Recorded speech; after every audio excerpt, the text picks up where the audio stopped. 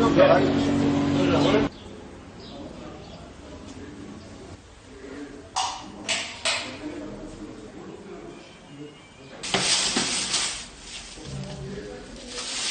Cumartesi günü bize gelen genelgeyle oyun oynatılmayacağı söylendi. Kahvehanenin tanımına aykırı oyun oynanmayan bir yerin açık olması kahvehane tanımına aykırı.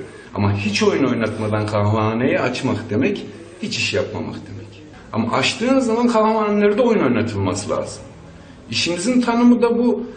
Yaptığımız iş de bu. Bize gelen müşteriler çay ocağı müşterisi değil, kahve müşterisi. Kahve müşterisi oyun oynamaya gelir. Devletten talebim, İçişleri Bakanlığı'ndan talebim de şu.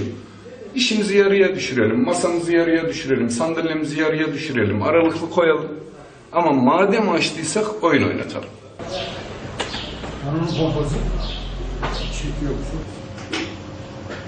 Şey, Yani bizim masaları seyredip oyun oynatmamızın daha iyi olacağını yoksa bu şekilde bizim hiçbir şey olmadığını gerekirse yani yarın bir gün geri kapatacağımız. Biz şu anda müşterilerin birbirini görsün diye açtık sadece. Kahve o zaman açmamıza hiç gerek yok.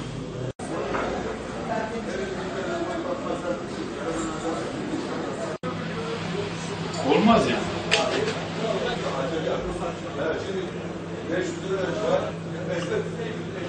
Dört cümlede. Valla kahvehaneler açıldı da müşteri alıyoruz fakat para alamıyoruz. Gelen insanlar çaylarını içip kahvelerini içip gidiyorlar. Ama para da alamıyoruz şimdi bunun yanında. Çünkü devamlı müşterimiz. Beni çek getirdiler. Abi.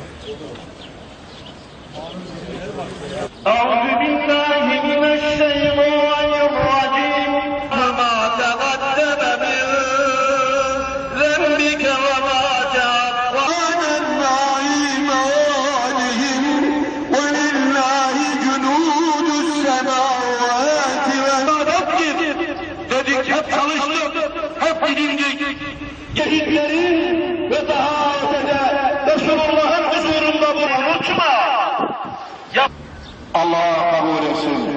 Allah hayırlı etsin Sayın Başkan.